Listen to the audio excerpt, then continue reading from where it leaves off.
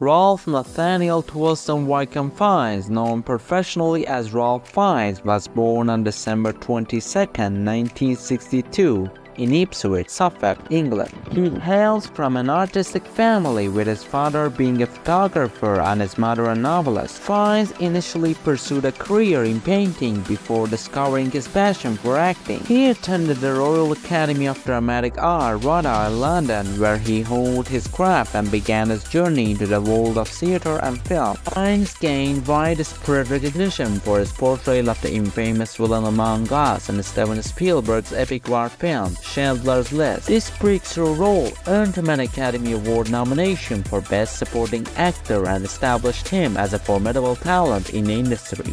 Subsequently, took on diverse roles in both classic and contemporary films, showcasing his versatility as an actor. One of Fiennes' most iconic roles came in 1996 when he starred as Count Almásy in Anthony's Minghella The English Patient. His mesmerizing performance earned him another Academy Award nomination, this time for Best Actor. Throughout his career, Fiennes has continued to deliver compelling performances in various genres, from Shakespearean adaptations like Coriolanus to fantasy films like the Harry Potter series, in which he played the enigmatic Lord Voldemort. In addition to his success on the big screen, Fiennes has maintained a strong presence in the theater.